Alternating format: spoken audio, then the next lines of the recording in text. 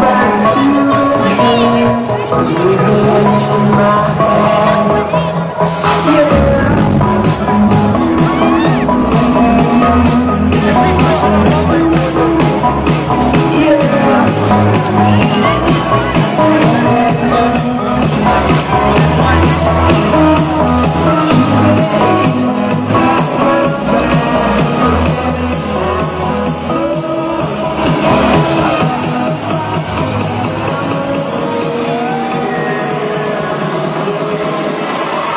Thank you.